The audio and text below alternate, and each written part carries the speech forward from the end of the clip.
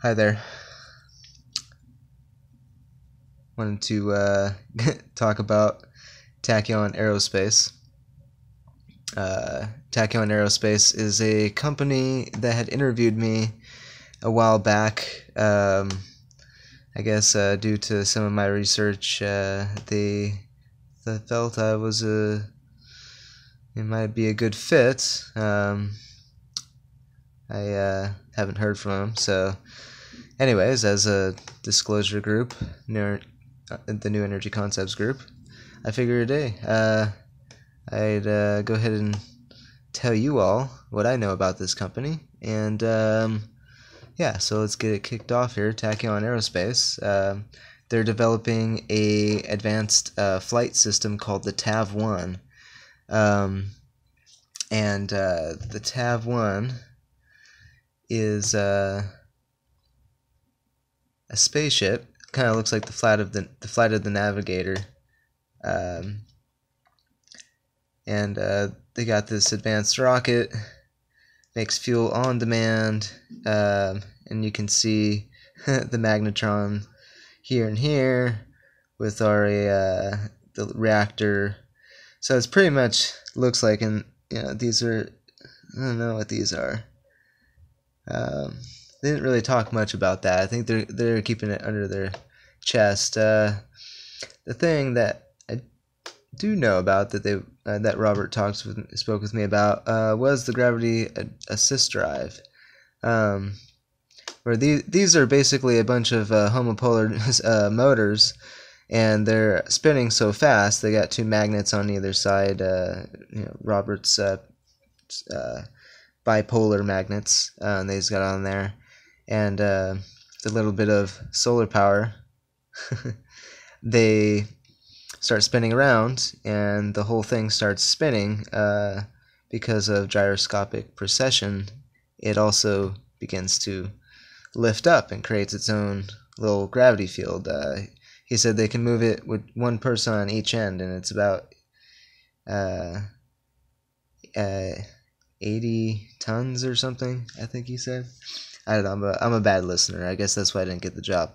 But, anyways, uh, so that'll get going and then spin this spins this generator. So it's also, you know, all these anti gravity technologies are also free energy. You, you can just tap the the rotation of the uh, gravitational field. Um, just like they're doing here with the with the wheel and pulley system. Um, the other thing is, uh, I do believe the fuel modules here are uh, made out of uh, quartz crystal. Um, the quartz crystal is is programmed. Uh, the quartz crystal is programmed uh, to emit the frequency of aluminum hydride. So as soon as the water hits it, it becomes oxygen and hydrogen to be used for uh, the the different various uh, the, the various purposes of the Tav One. So uh, yeah, that's about as far as we got into. Uh, what I like about this company is that they uh, they do have a lot of transparency. You know, they're at least showing their stuff. Like here's a, a you know a little plasma fusion thingy. Uh, it kind of reminds me of uh, what Nassim Haramein is doing with his uh, gravity drive. Um, but uh, obviously, these uh, technologies are much more advanced than anything that group is doing.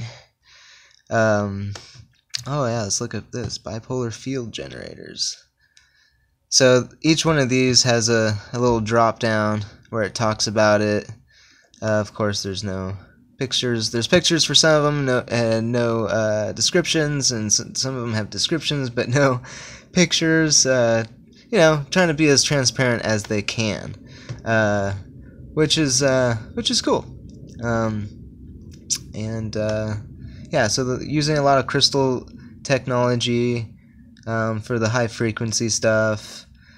Um, one, I can tell you, I guess, one story that uh, Robert told me while uh, he was we were doing a Skype uh, interview, and uh, I guess what they had done is made a metal track, kind of like two two capacitor plates, and uh, put a rat with you know those little dielectric uh, rat balls. You know the rat can run around the house without getting in, into any trouble, um, and uh, you know turned on put put the ball in between the plates, and there's a big ten foot track, and uh, hit hit it with the high frequency and the and the uh, uh, the electrostatics, the high electric field, and pushed it with a a pool cue, and uh, that the rat looked like it teleported around the track. Um, he said that he had uh, some high speed cameras on it and was able to track the rat going around the track at 132,000 miles per second. Uh, so that's that's pretty extraordinary uh, right there. Um, of course, with my own electrostatic and high frequency um, experiments, I've also been able to show that using soda lime glass and, and other dielectric materials, which you can find on this YouTube channel. Uh, I think that's one of the reasons why they called me up and and uh, you know told me this story It was because some of my own uh, experiments, I guess, were leading up to some of this stuff. So that's exciting. At least uh, I know I'm in the right direction. At least um, these guys are you know 30 34 years ahead of me which is cool. You know i like to be able to uh, do videos like this and support them and uh, show that you you can you can be uh, you know out there with your technology and what you're doing and uh, be transparent and still you know uh, be able to do business. It's it, it shouldn't be so cloak and dagger you know? Especially technologies like these that we can all use uh, as you know, filter down system such as the solar gravity assist drive, which obviously you can run your house off of. You know, um, pretty cut and cut and dry. You know, a lot of these aerospace technologies are gonna uh, filter down to you know our level, and uh, you know Robert understands that, uh, and uh, that's why I think he's eager to to not only move on and do the aerospace missions and stuff like that, um, but also you know leave leave behind a better uh, technological legacy for for our future generations. And uh, um, that's what really you know made me want to talk with these guys and uh, see what they were up to. Um, and I encourage you to get a hold of Robert and uh, and talk to him and uh, see where his head's at with this stuff. And uh, yeah um, these guys are pretty open.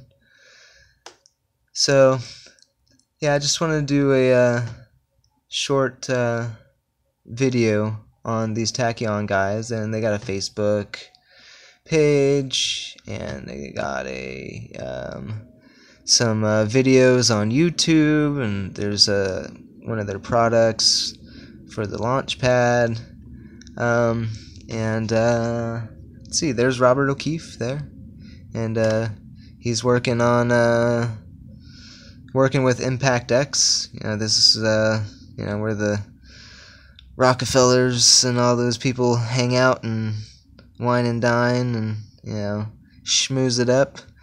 Uh, so I'm glad uh, Robert's keeping an eye on those folks for us.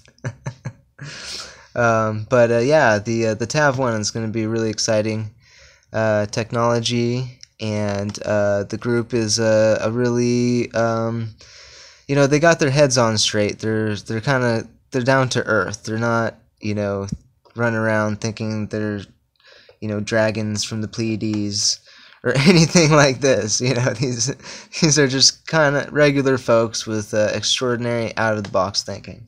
And uh, yeah, so I'd like to uh, thank Robert for at least uh, you know giving me a hear uh, in our interview and telling me some of the cool stuff that uh, you guys got going on. And I just want to let you know, uh, we'll be rooting for you, uh, keeping an eye out for you, and uh, you know, keeping the eye out for you. no, just kidding. Uh, but yeah, just want to wish these guys the best of luck and uh, let's show all you viewers what's possible, what's going, what's going to happen, and you know, let's all start uh, talking about this stuff. You know, making it the status quo. Let's you know not make it so one little group's got you know all this stuff that they they're doing. Uh, why don't we do it too? Um, there's tons of uh, ways that we can also uh, help out. So let's uh, let's all get in contact and uh, and keep in communication. You know, uh, teamwork makes the dream work. So that's me. Just want to show you guys Tachyon Aerospace. Signing off.